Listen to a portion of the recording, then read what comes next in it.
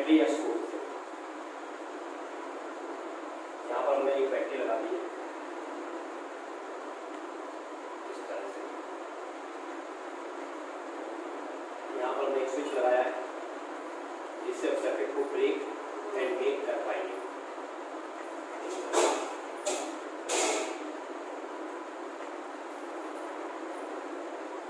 Okay तो ये हमारा सर्किट कंप्लीट हो गया लाइक दिस ठीक ये हमारे पास एक कंडक्टर है उसके एंड पर हमने पोटेंशियल डिफरेंस क्रिएट कराने के लिए इलेक्ट्रिक फ़ील्ड लगाने के लिए एक बैटरी का कनेक्शन लिया और इसको कंडक्टर के एंड पर जोड़ दिया ये पॉजिटिव टर्मिनल है ये नेगेटिव टर्मिनल ठीक है भाई तो जब आपने पॉजिटिव से जोड़ा है ये वाला एंड इस कंडक्टर के इस सिरे से जुड़ा है वायर द्वारा तो ये हो जाएगा पॉजिटिव पर और ये नेगेटिव से जुड़ा हुआ है तो ये किस पर हो जाएगा नेगेटिव ठीक है भाई ओके आगे चीज़ सुनिए ये जो कंडक्टर है इस कंडक्टर की लेंथ हम लोगों ने मानी है एल इसकी लेंथ कितनी है भाई एल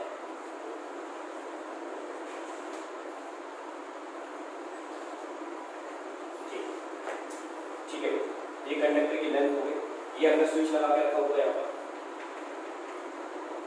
स्विच ओके स्विच ए और ये हमारी बैटरी बैटरी अब देखिए, जब हमने स्विच को मेक नहीं किया है, सर्किट में अभी हमने करंट को फ्लो नहीं कराया है, स्विच को मेक नहीं किया है तो इस कंडक्टर के एंड पर कोई पोटेंशियल डिफरेंस क्रिएट नहीं होगा। तो अभी पोटेंशियल डिफरेंस क्रिएट नहीं हुआ, वो सिचुएशन की मैं बात करता हूँ। तो देखिए, इस कंडक्टर के अंदर क्या होता है? तो कंडक्टर के अंदर क्या होता है? ये एक इलेक्ट्रॉन है, इस डायरेक्शन में मूव कर रहा है लाइक दिस इस तरह ठीक है? दूसरा इलेक्ट्रॉन इस डायरेक्शन में मूव कर रहा है लाइक दिस एक इलेक्ट्रॉन इस डायरेक्शन में मूव कर रहा है लाइक दिस तो आप जानते हैं प्रीवियस लेक्चर में प्रीवियस लेक्चर में आप जानते हैं प्रीवियस लेक्चर में लोगों ने ये स्टडी किया था। कि ये जो इलेक्ट्रॉन्स होते हैं, ये इलेक्ट्रॉन थर्मल वेलोसिटी कौन सी वेलोसिटी से? थर्मल वेलोसिटी से मूव करते हैं ऑल डायरेक्शन ठीक है भैया? ऑल डायरेक्शन में मूव कर रहे हैं ठीक।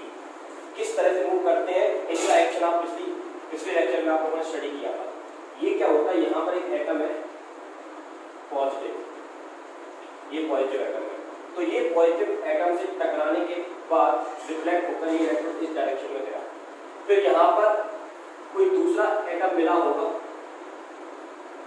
उस एटम से इसने कोलाइड किया और कोलाइड करने के बाद इस डायरेक्शन में गया। इस तरह से ये एटम से टकराते रहते हैं और चारों दिशाओं में, सभी दिशाओं में, और डायरेक्शन में ये क्या करते रहते हैं? मूव करते रहते हैं भाई। जी ये सिचुएशन हम पिछली क्लास में पढ़ चुके हैं। अब आगे की सिचुएशन की मैं बात करता हूँ। अब आगे की सिचुएशन में क्या है? ध्यान दीजिए जरा। ये जो इलेक्ट्रॉन अभी थर्मल वेलोसिटी से मूव कर रहा है, अगर ये थर्मल वेलोसिटी से मूव कर रहा है तो ये इस सर्किट में करंट नहीं बनाएगा। और हमें इस सर्किट में यदि करंट बनानी है तो करंट बनाने के लिए इसके पास एक निश्चित डायरेक्शन में एक वेलोसिटी होनी चाहिए। उस वेलोसिटी का हम लोगों ने क्या नाम रखा था? ड्रिफ्ट वेलोसिटी कौन सी वेलोसिटी ड्रिफ्ट वेलोसिटी और वो ड्रिफ्ट वेलोसिटी हम कैसे क्रिएट कराते हैं? तो आंसर है, जब हम इसके एंड पर पोटेंशियल डिफरेंस क्रिएट करा देते हैं। तो ये हमने बैटरी का पॉजिटिव टर्मिनल यहाँ से कनेक्ट किया। तो ये पॉजिटिव हो गया। नेगेटिव टर्मिनल यहाँ पर कनेक्ट किया तो ये नेगेटिव हो गया। तो इसके एड्स पर हमने क्या क्रिएट करा दिया? आंसर है पोटेंशियल डिफरेंस क्रिएट करा दिया।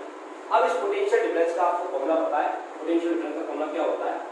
ई इंटू एल क्योंकि ये एल लेंथ का कंडक्टर है, और एल लेंथ के कंडक्टर पर कितना पोटेंशियल डिफरेंस हमने लगाया? V equal to E into L अब ये E क्या है? आंसर E इलेक्ट्रिक फ़ील्ड है, जिसकी direction higher potential to lower potential होती है। अगर ये हमने ई लगा दिया है तो ये जो ई होता है, इसके हर एक लोकेशन पर काम करता है, हर जगह। ठीक है? तो अगर ये हर जगह पर काम करता है तो इसके अंदर जितने भी इलेक्ट्रॉन्स होंगे, ये E उस इलेक्ट्रॉन पर फोर्स लगाएगा। फोर्स का फॉर्मूला हमको पता है, क्या होता है फोर्स का formula F equal to Q into E तो अगर ई बना है तो फोर्स लगेगा। किस पर लगेगा?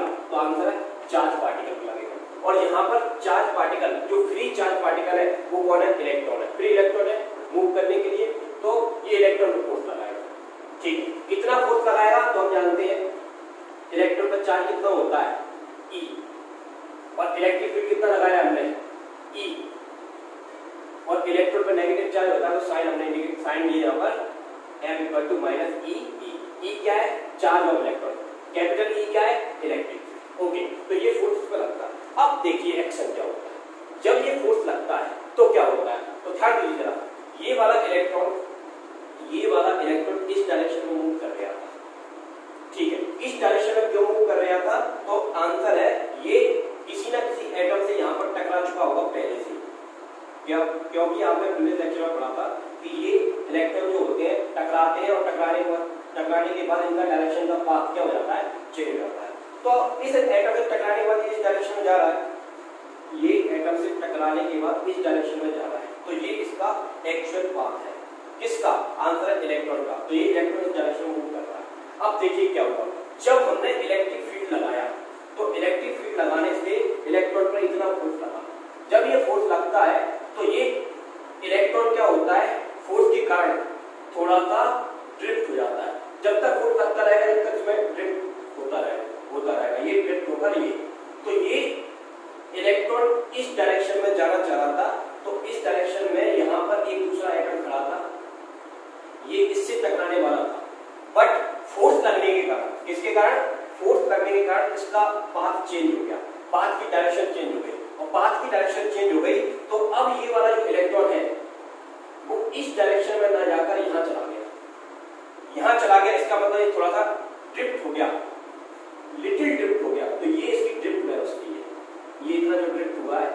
इसको क्या कहेंगे? इसकी ड्रिफ्ट वेलोसिटी ओके ये इतना ड्रिफ्ट हो गया।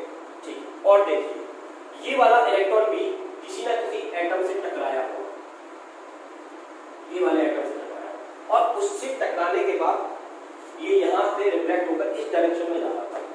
ठीक है भाई? इस डायरेक्शन में जा रहा था तो इलेक्ट्रॉन पर नेगेटिव चार्ज होता है तो इस नेगेटिव ने उसको रिपेल किया। और इस पॉजिटिव ने अपनी तरफ़ अट्रैक्ट किया दैट इज़ फोर्थ लगा फोर्थ लगा तो फिर से, जब तक फोर्स लगता रहेगा, तब तक ये फोर्स की डायरेक्शन में क्या हो जाता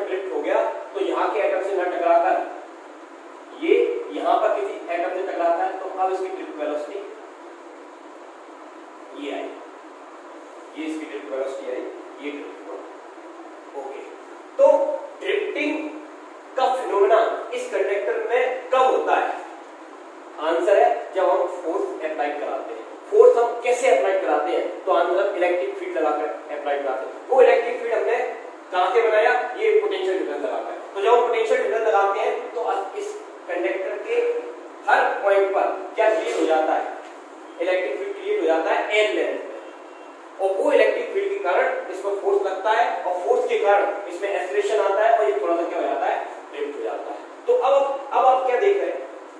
इसकी ट्रिप वेलोसिटी दिस वे इस इलेक्ट्रॉन की ट्रिप वेलोसिटी दिस वे इस इलेक्ट्रॉन की ट्रिप वेलोसिटी दिस वे तो ये ट्रिप होना स्टार्ट हो गया। ठीक है भाई। तो ये कौन सी वेलोसिटी होती है? ड्रिफ्ट वेलोसिटी होती है। और यही ड्रिफ्ट वेलोसिटी की हमको कैलकुलेशन करनी है। तो हम किस प्रकार से कैलकुलेट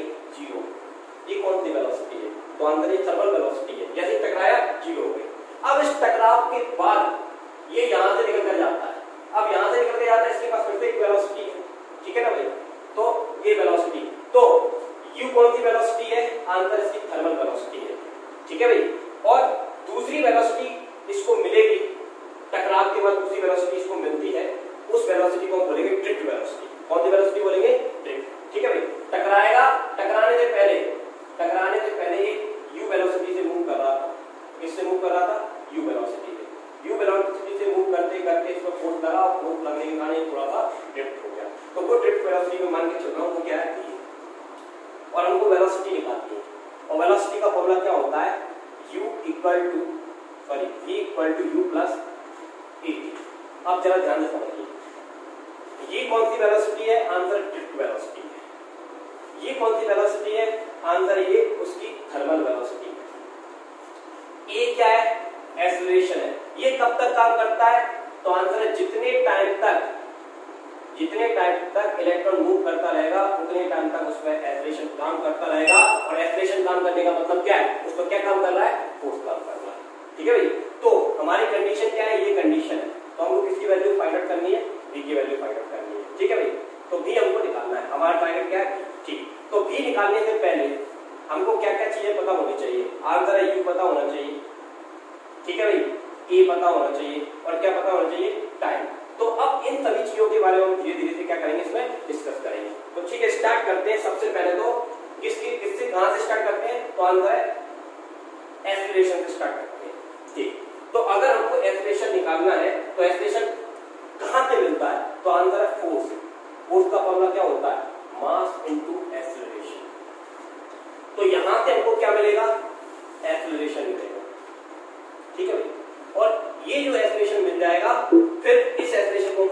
देंगे इस फॉर्मूले को कर देंगे और इसकी कैलकुलेशन करेंगे। तो पहला काम क्या है?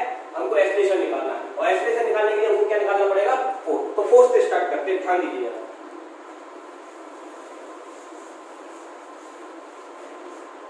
ठीक है तो ये हमारे पास कंडक्टर है इस कंडक्टर में सभी इलेक्ट्रॉन थर्मल वेलोसिटी से मूव कर रहे हैं जैसे ही हम इलेक्ट्रिक फ़ील्ड लगाएँगे तो इलेक्ट्रिक फ़ील्ड लगाने से वो फोर्स लगता है और वो ड्रिफ्ट होना स्टार्ट कर देते हैं ठीक तो ड्रिफ्ट होने के लिए उन पर फोर्स लगना ज़रूरी है विदाउट फोर्स वो ड्रिफ्ट नहीं होंगे ठीक है तो फोर्स कितना लगता है तो आंसर है force force on electron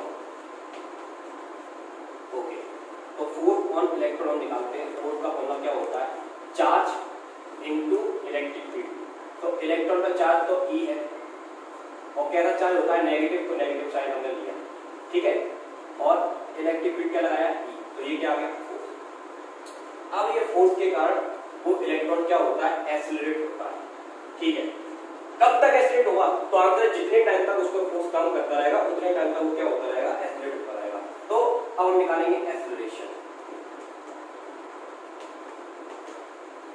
acylation का फॉर्मूला क्या होता है A equal to force upon mass M क्या है मास ऑफ़ इलेक्ट्रॉन एफ़ क्या है?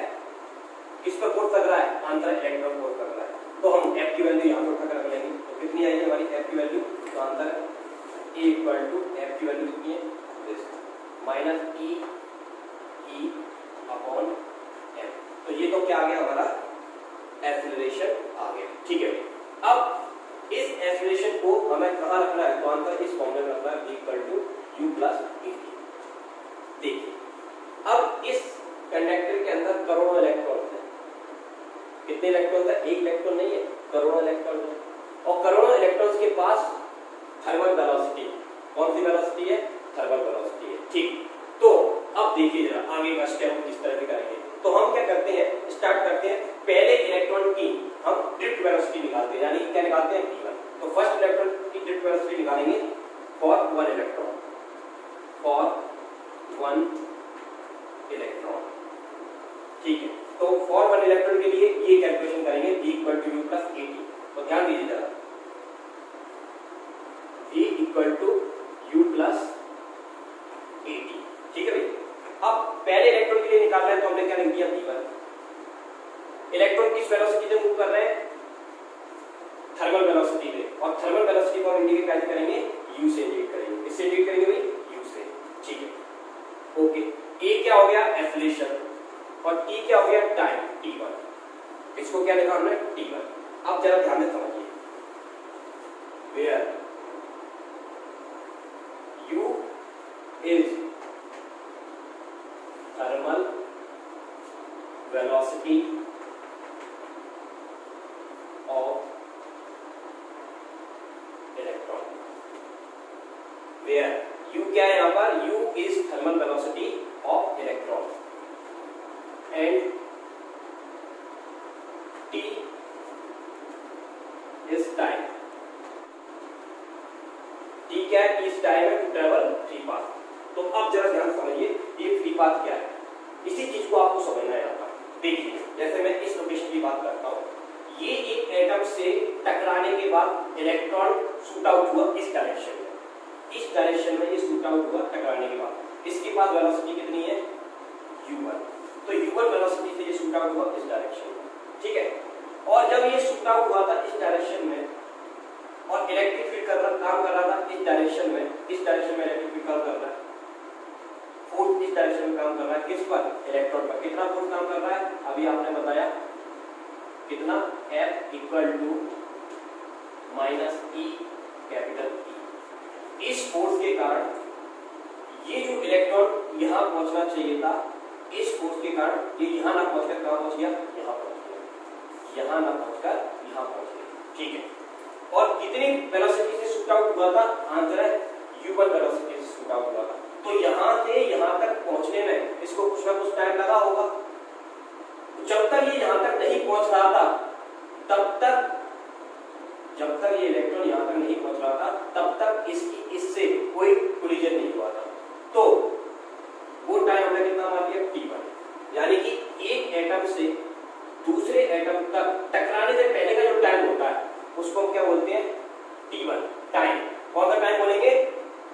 टू ट्रेवल फ्री पाथ तो ये जो फ्री पाथ है, इस फ्री पाथ में चलते समय वो किसी से नहीं टकराया। तो वो वाला जो टाइम होता है, उसको क्या नाम दिया? T1 ठीक है, फिर से, ये u1 वेलोसिटी से शूट आउट हुआ। एक एटम से दूसरे एटम की तरफ़ ये जा रहा था u1 वेलोसिटी से फोर्स लगा तो ये इसको यहाँ जाके टकराना था फोर्स लगने के कारण ये ड्रिफ्ट हो गया और ड्रिफ्ट होकर इस एटम से ना टकराकर इस एटम से टकराया। कितना ड्रिफ्ट हुआ? वो है v उसको हम लिखेंगे v क्या लिखेंगे? V फिर से u1 वेलोसिटी से जाना था तो एक एटम से दूसरे एटम तक फ्री मूव कर रहा है। उस समय को तो हम क्या बोलेंगे? T बोलेंगे। और जिस वेलोसिटी से जा रहा है, उसे क्या बोलेंगे? यू बोलेंगे। तो उसको इस एटम तक पहुँचना था लेकिन फोर्स कारण वो इधर पहुँचा तो ये क्या हो जाएगी उसकी v वेलोसिटी हो जाएगी। कौन सी वेलोसिटी हो जाएगी तो ये t1 जो टाइम है, वो दो एटम के बीच के टक्कर का टाइम है।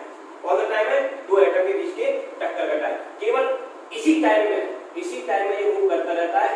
अदरवाइज़ जैसे इससे टकराएगा, और इससे टकराने के बाद दूसरी डायरेक्शन में रिफ्लेक्ट होगा। और फिर जब तक दूसरा एटम नहीं आता, तब तक ये नहीं टकराएगा, ये मूव होता रहेगा। राइट तो ये आपको समझ में आ गया टी क्या है? दो एटम के बीच में टकराने का टाइम ठीक है? U1 क्या है उसकी? थर्मल वेलोसिटी और v t क्या है उसकी? ड्रिफ्ट वेलोसिटी ओके ये ड्रिफ्ट वेलोसिटी डिफरेंट हो सकती है। कैसे डिफरेंट हो सकती है? तो ये इस डायरेक्शन में गया, मान लीजिए। अगर ये इस डायरेक्शन में गया है, और इधर की तरफ़ ये ड्रिफ्ट हुआ है, और ड्रिफ्ट होते समय ये एटम बहुत जल्दी आ गया तो ये ड्रिफ्ट वेलोसिटी क्या हो जाएगी? कम हो जाएगी।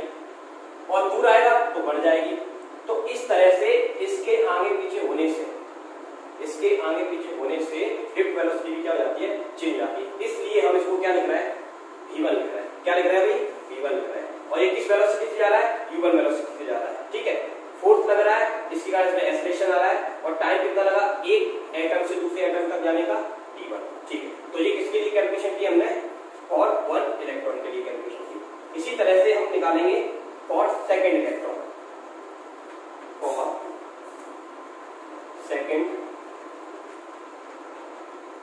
electron तो सेकेंड इलेक्ट्रॉन के लिए सेम प्रोसेस क्या आएगा E2 two equal to U two plus A T two ये आ जाएगा ठीक है इसी तरह से third electron fourth electron N electron तो एन इलेक्ट्रॉन के लिए कितना आएगा हमारा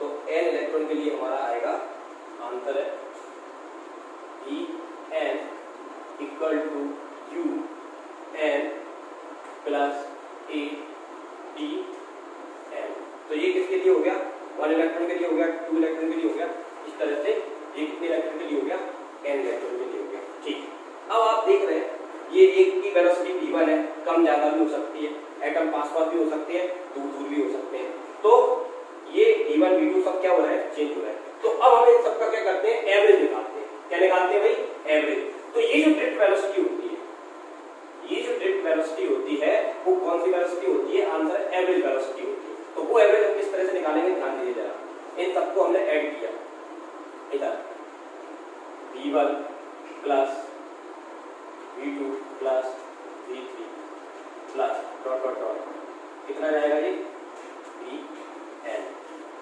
इक्वल टू का हमने साइन लगाया इनको भी हमने ऐड किया। U one plus U two plus U three plus dot dot dot un एसलेशन देखो, सब में कॉमन आ रहा है तो एसलेशन को तो हमने क्या निकाल दिया? कॉमन निकाल दिया। क्या बचा? T1 T2 T1 plus T2 plus T3 plus dot dot dot कहा जाएगा टी एन तो ये सिचुएशन हमारी बनी। अब देखिए जरा। ये जो सिचुएशन बनी है, ये D1 D2 B3 B Bn तक जा रहा है। तो ये क्या है? ड्रिफ्ट वेलोसिटी है।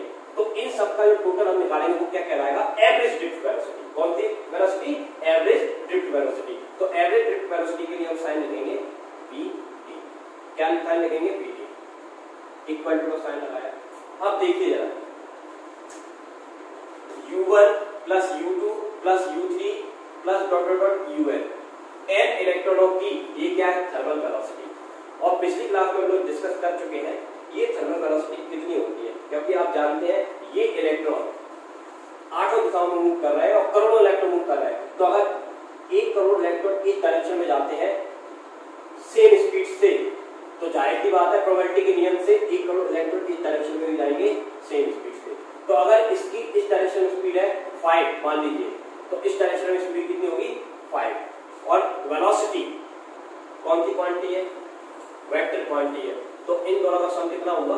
ज़ीरो होगा। ठीक है भाई? तो एक करोड़ इलेक्ट्रॉन इस डायरेक्शन में गए जितनी स्पीड से तो एक करोड़ इलेक्ट्रॉन इस डायरेक्शन में जाएँगे सेम स्पीड से इसी तरह से इधर भी जाएँगे तो इधर भी जाएँगे इधर भी जाएँगे तो इधर भी जाएँगे इधर भी जाएँगे तो इधर भी जाएँगे तो सभी इलेक्ट्रॉनों की जो थर्मल वेलोसिटी का जो सम आएगा प्रोबेबिलिटी के नियम से वो कितना हो जाएगा ज़ीरो तो ये तो थर्मल वेलोसिटी कितनी हो जाती है भाई ज़ीरो हो जाती है ये ये ज़ीरो हो गई ठीक है प्लस एसलेशन सब पे सेम लग रहा है क्यों सेम लग रहा है क्योंकि हर जगह इलेक्ट्रिक फ़ील्ड कैसा है सेम है तो एसलेशन को तो मैं ऐसे ही रखता हूँ अब हम बात करते हैं ये क्या चीज़ है T1, T2, T3, Tn ये जो टाइम है ये किस चीज़ का टाइम है तो आंसर है एक एटम से दूसरे एटम तक इलेक्ट्रॉन के टकराने का बीच का टाइम है एक कोलिजन से लेकर दूसरे कोलिजन तक बीच का जो टाइम है उसको क्या कहते हैं T1 कहते हैं पहले इलेक्ट्रॉन दूसरे इलेक्ट्रॉन का भी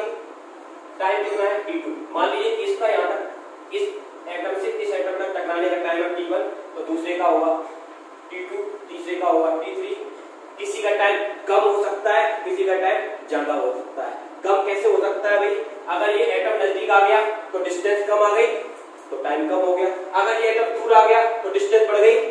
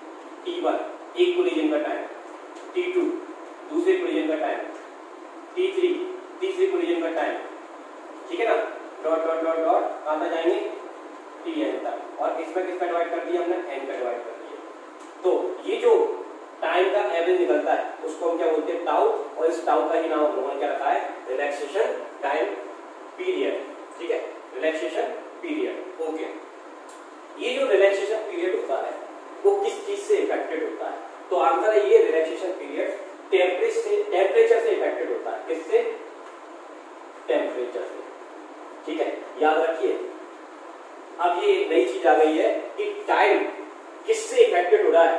आंसर है टेम्परेचर अगर आप टेम्परेचर बढ़ा दोगे, क्या कर दोगे भाई? टेम्परेचर बढ़ा दोगे तो टेम्परेचर बढ़ाने से रिलैक्सेशन टाइम पीरियड क्या हो जाएगा? आंसर है डिक्रीज हो जाएगा. क्यों डिक्रीज हो जाएगा? तो डिक्रीज इसलिए हो जाएगा क्योंकि देखिए, ये जो थर्मल वेलोसिटी है इलेक्ट्रॉन के पास, वो किससे बनी है? आंसर है हीट से बनी है टेम्परेचर से बनी है. ठीक है, अगर उसी टेम्परेचर को आपने बढ़ा दिया, आपको जो मटेरियल दिया गया है, उस मटेरियल का आपने टेम्परेचर बढ़ा दिया। तो अगर आप टेम्परेचर बढ़ा दोगे तो टेम्परेचर बढ़ाने से उसकी स्पीड भी बढ़ जाएगी। और अगर स्पीड भी बढ़ जाएगी तो जो काम को, देखिए यहाँ से यहाँ तक जाने का काम को कितने में कर रहा था? एक माइक्रो सेकंड दो, तीन, चार, पाँच माइक्रो सेकंड में कर रहा था, टकराने का काम। ठीक है, अगर आपने टेम्परेचर बढ़ा दिया तो इसकी स्पीड बढ़ जाएगी तो अब ये तीन माइक्रो सेकंड में पहुँच जाएगा। राइट तो याद रखिए टेम्परेचर से टाइम इफ़ेक्ट इफेक्टेड होता है, कौन सा टाइम इफेक्टेड होता है? तो याद रखिए रिलैक्सेशन पीरियड इफेक्टेड होता है। तो टेम्परेचर बढ़ाने से हमेशा टाउ की वैल्यू क्या हो जाती है? डिक्रीज हो जाती है। और टेम्परेचर कम कर दोगे तो टाउ की वैल्यू क्या हो जाएगी? बढ़ जाएगी। राइट तो याद रखिए। ठीक है? तो टाइम किससे इफेक्टेड है? टेम्परेचर ठीक? तो ये सिचुएशन हमारी बनी बी डी इक्वल टू तो बी डी क्या है? एवरेज वेलोसिटी ठीक है? और ये वेलोसिटी थर्मल वेलोसिटी थी, जो कि सभी डायरेक्शन में थी, इसलिए वो कितनी हो गई? ज़ीरो हो गई। ठीक है? लेकिन ये वाली वेलोसिटी ज़ीरो नहीं होगी, क्योंकि आप जानते हैं ये कौन सी वेलोसिटी है? ड्रिफ्ट वेलोसिटी है। एवरेज क्यों निकाला है, क्योंकि कोई इलेक्ट्रॉन जल्दी टकरा गया, कोई इलेक्ट्रॉन बाद में टकराया, उसको टाइम लग गया।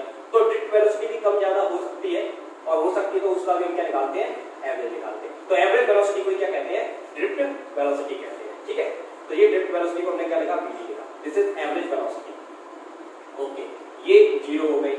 ए कांस्टेंट है यहाँ पर। T1, T2, T3 इसको क्या कहेंगे? इन सब का एवरेज क्या कहलाएगा? टाउ कहलाएगा। राइट हाँ जी इधर ध्यान दीजिए। ठीक। ये हमने क्या किया था? V1 वेलोसिटी निकाली थी। किसकी? पहले इलेक्ट्रॉन की। ये V2 दूसरे इलेक्ट्रॉन की वेलोसिटी निकाली। ये n इलेक्ट्रॉन की वेलोसिटी निकाली। तो अब हम क्या निकालते हैं? इन सभी इलेक्ट्रॉनों की एवरेज वेलोसिटी निकालते हैं। तो एवरेज वेलोसिटी निकालते हैं हम एवरेज वेलोसिटी तो एवरेज वेलोसिटी निकालने के लिए देखिए, ये वाली प्रोसेस हम करेंगे, ये हमने लिखा। ये जितने भी, जितनी भी वेलोसिटी है, सबको हम ऐड कर देंगे। कितने इलेक्ट्रॉनों की वेलोसिटी निकालना है तो आंसर है एन इलेक्ट्रॉनों की वेलोसिटी निकालना है। तो ये जो एवरेज वेलोसिटी आई है तो यहाँ पर किसका डिवाइड कर देंगे? एन राइट तो ये एन इलेक्ट्रॉनों की ड्रिफ्ट वेलोसिटी का क्या है? एवरेज है। Okay u1 u2 u3 plus dot dot dot un ये थर्मल वेलोसिटी का क्या है? एवरेज है। तो यहाँ पर हमने क्या लगा दिया? एन लगा दिया। Plus T1 T2 T3 plus dot dot T है ये किसका एवरेज है? तो आंसर है दो टक्करों के बीच का जो टाइम होता है हर इलेक्ट्रॉन का अलग अलग भी हो सकता है। तो ये उस टाइम का एवरेज है। तो इसके लिए भी हमने क्या लगा दिया? एन क्योंकि एन बार टकराया होगा तो एन से डिवाइड करेंगे। इसकी थर्मल वेलोसिटी कितने इलेक्ट्रॉनों के लिए? आंसर है एन इलेक्ट्रॉन के लिए। और ये वेलोसिटी किसके लिए? ड्रिफ्ट वेलोसिटी ये भी एन इलेक्ट्रॉन के लिए। तो हमने क्या निकाल ली? एवरेज वेलोसिटी और अगर हमने एवरेज वेलोसिटी निकाल ली है तो v1 plus v2 plus v3 plus dot dot dn upon n इसका तो हम लोगों ने क्या नाम रखा है? Pd क्या नाम रखा है भाई? और ये वाली जो एवरेज वेलोसिटी है, ये वाली जो एवरेज वेलोसिटी है, ये कितनी होती है भाई हमारी? ज़ीरो होती है। प्लस प्लस ए ए आ गया। T1 t2 t3 ये क्या होता है? एवरेज टाइम और एवरेज टाइम हम क्या लिखते हैं? टाउ लिखते हैं। Tau is relaxation time period tau is relaxation period right tau क्या है रिलैक्सेशन पीरियड ठीक है? तो अब हमारी कंडीशन क्या बनी है? B D equal to A into tau क्या कंडीशन बनी B D equal to A into tau ठीक। और ए की वैल्यू हम ऑलरेडी निकाल चुके हैं। वो वैल्यू कितनी थी? हमारी ए तो इसको हम यहाँ पर करेंगे। तो कितना आएगा? B D equal to minus E capital E upon M multiply tau तो ये आ गई हमारी ड्रिफ्ट वेलोसिटी तो ये किसका फॉर्मूला आ गया हमारा? ड्रिफ्ट वेलोसिटी का फॉर्मूला आ गया कि इतनी ड्रिफ्ट वेलोसिटी से ये हमारा इलेक्ट्रॉन क्या होता है? ड्रिफ्ट होता है। ठीक। अब देखिए, अब इसमें E upon M E upon M E क्या है? चार्ज ऑफ़ इलेक्ट्रॉन एम क्या है? Mass of electron capital E क्या है? इलेक्ट्रिक फ़ील्ड टी क्या है? Relaxation time period relaxation time period okay और बीडी क्या है? ड्रिफ्ट वेलोसिटी अब ये ड्रिफ्ट वेलोसिटी किस पर डिपेंड करती है? तो देखिए ई चार्ज है, वो तो कांस्टेंट हो गया। एम इलेक्ट्रॉन का मास है, वो भी कांस्टेंट है। तो ई अपॉन एम तो क्या हो गया? कांस्टेंट हो गया। अगर ई अपॉन एम कांस्टेंट हो गया तो अगर हम इलेक्ट्रिक फ़ील्ड को चेंज करेंगे। इलेक्ट्रिक फ़ील्ड को हम चेंज कैसे करते हैं? हमको फॉर्मूला बताया, अभी स्टार्टिंग में बताया था बी टू एल अगर हमने ज़्यादा वोल्टेज लगाया है तो इलेक्ट्रिक फ़ील्ड ज़्यादा होगा तो हम कहेंगे, उस वोल्टेज पर ड्रिफ्ट वेलोसिटी ज़्यादा और अगर हमने कम इलेक्ट्रिक फ़ील्ड लगाया है, कम इलेक्ट्रिक फ़ील्ड हमको कम मिलेगा? जब हम कम वोल्टेज अप्लाई करेंगे। तो कम वोल्टेज अप्लाई करने पर इलेक्ट्रिक फ़ील्ड कम होता है तो फोर्स कम लगेगा? तो ड्रिफ्ट वेलोसिटी भी क्या होगी? कम होगी। तो ड्रिफ्ट वेलोसिटी किस पर डिपेंड कर रही है? आंसर है इलेक्ट्रिक फ़ील्ड पर। ओके तो किस पर डिपेंड कर रही है? Depend upon electric field depend upon okay पहला पॉइंट तो क्या हो गया? डिपेंड अपॉन इलेक्ट्रिक फ़ील्ड दूसरा किस पर डिपेंड कर रही है? आंसर है टाउ पर। किस पर? टाउ पर। ओके तो किसी गिवन मटेरियल के लिए मान लीजिए टाउ क्या है? कांस्टेंट है। अगर टाउ कांस्टेंट है तो ड्रिफ्ट वेलोसिटी केवल किससे बदलेगी? आंसर ई e से बदलेगी। ठीक है? ई e को कम ज़्यादा करने से ड्रिफ्ट वेलोसिटी हमारी चेंज होगी। अगर हमने कोई दूसरा मटेरियल ले लिया, जिसका कोई दूसरा टेम्परेचर होगा तो उस टेम्परेचर के लिए ड्रिफ्ट वेलोसिटी अलग आएगी। तीसरा मटेरियल लेंगे, उसका टाइम पीरियड कुछ अलग होगा तो उसके लिए ड्रिफ्ट वेलोसिटी अलग आएगी। ठीक है?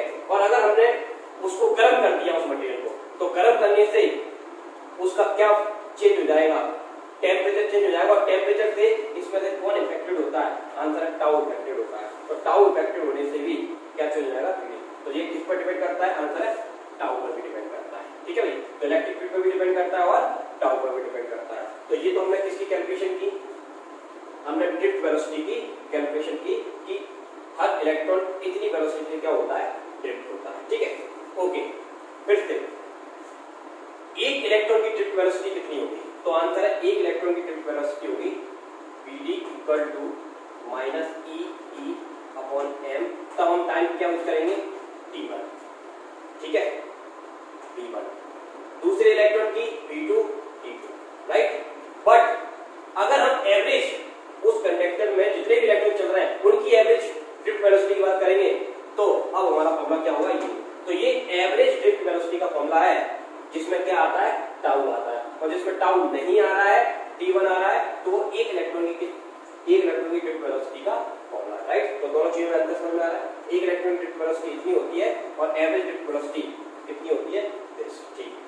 ये तो हमने क्या निकाली? ड्रिफ्ट वेलोसिटी लेकिन करंट कहाँ है? करंट अभी बनी नहीं। है तो आप देखिए करंट को हम कैसे बनाते हैं।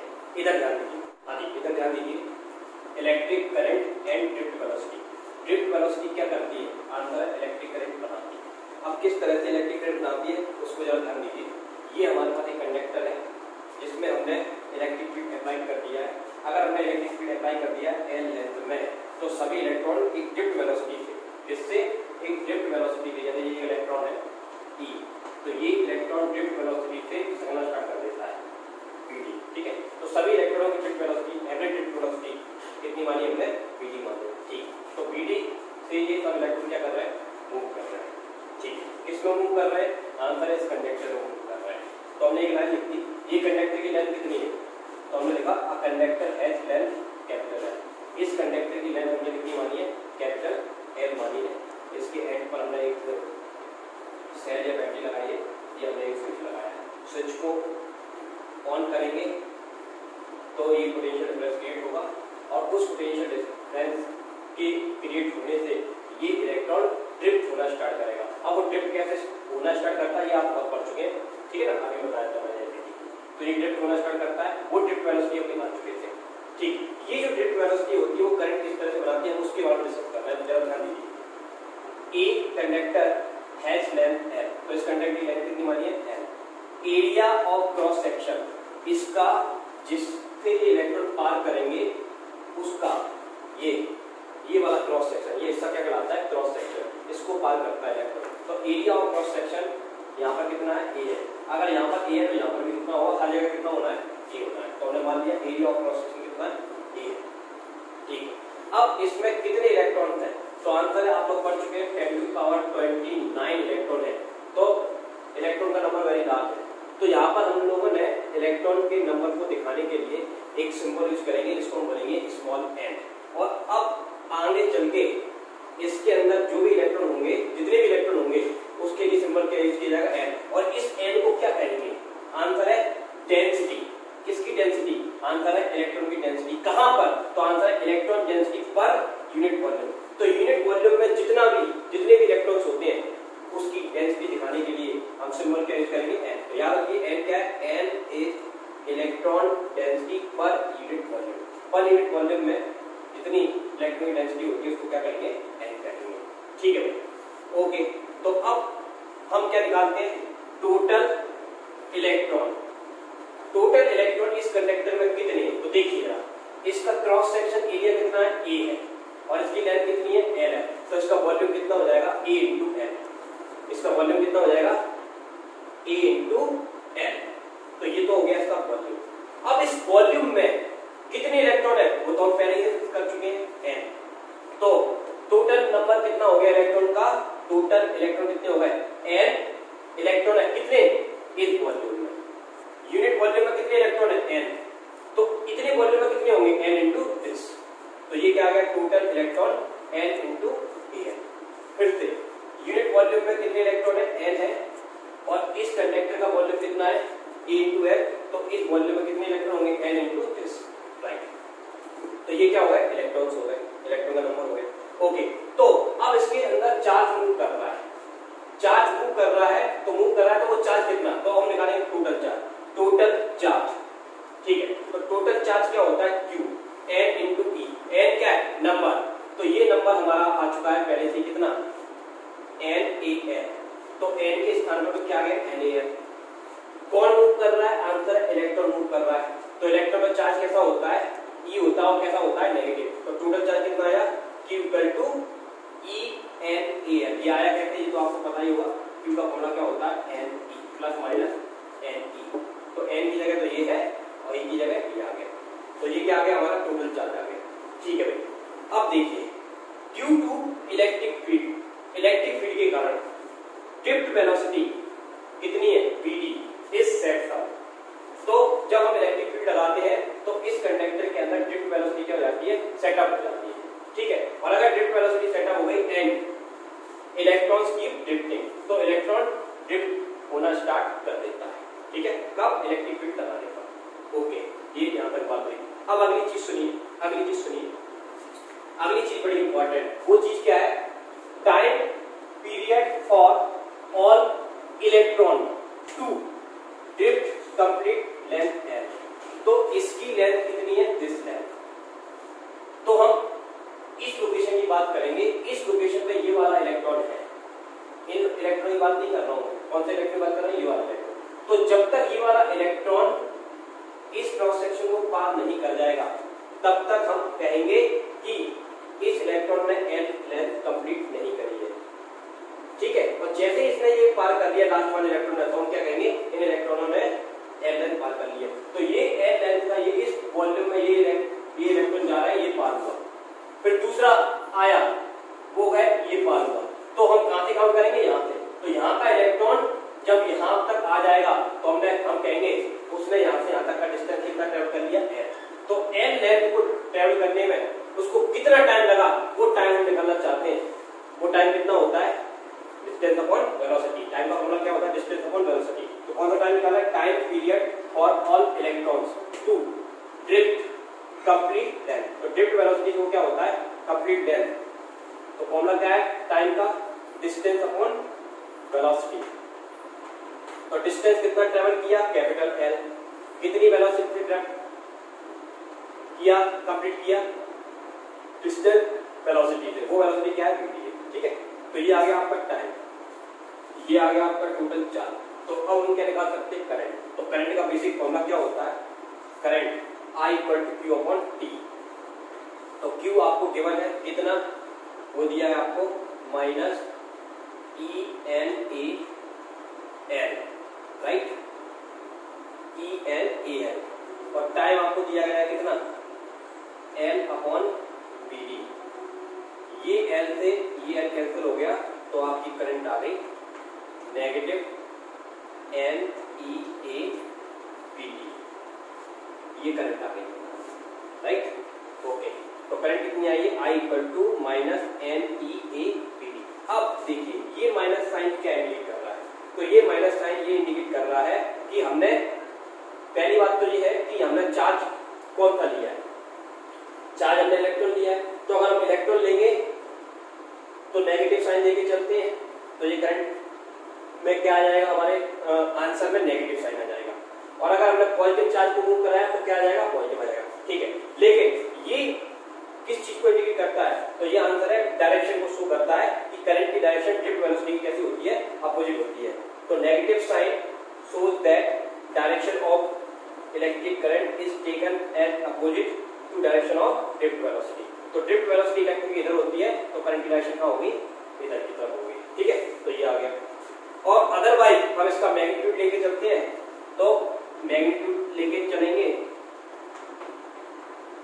तो मैग्नीट्यूड में करंट का फॉर्मूला क्या आ जाएगा I equal to N E A B D ठीक है ये पॉजिटिव चार्ज के लिए ये नेगेटिव चार्ज के लिए और आप मैग्नीट्यूड मैग्नीट्यूड कंसीडर करते हैं तो आई इक्वल टू क्या लगेंगे N E A B D तो ये करंट किस पर डिपेंड करती है आंसर है एन पर डिपेंड करती है एन क्या है पर यूनिट वॉल्यूम में जितने इलेक्ट्रॉन होते हैं उनका नंबर है ई क्या है चार्ज ऑफ़ इलेक्ट्रॉन ए क्या है क्रॉस सेक्शन बी डी क्या है ट्रिप तो अब देखिए ए आपने कांस्टेंट कर दिया और ऐसा कंडक्टर दिया जिसमें एन भी कांस्टेंट है और चार्ज भी कांस्टेंट है तो करंट इससे चेंज होगी आंसर है ड्रिफ्ट वेलोसिटी से चेंज होगी ठीक है तो इसका किससे रिलेशन है ये दिखाने के लिए आप तब बता सकते हैं कि तब बाकी क्वांटिटी कैसी हो कांस्टेंट हो अगर ये सब क्वांटिटी कांस्टेंट है तो हम आई का बीडी से रिलेशन बता सकते हैं क्या रिलेशन बता सकते हैं कि अगर ड्रिफ्ट वेलोसिटी ज़्यादा होगी तो करंट भी ज़्यादा होगी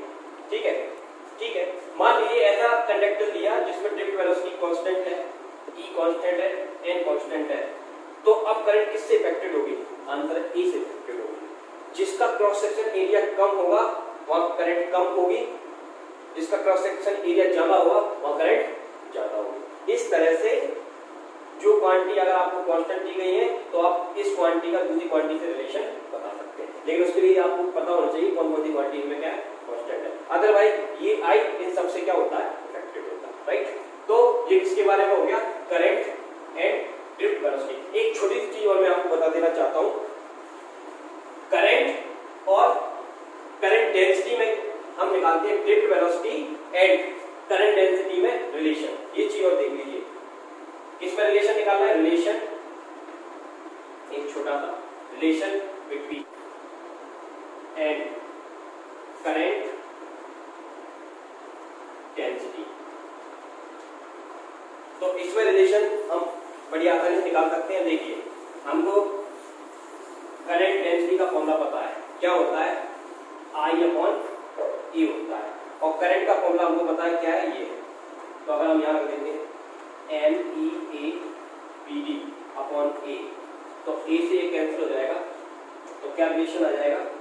N E B D right तो हमको रिलेशन मिल गया J equal to N E B D ठीक है?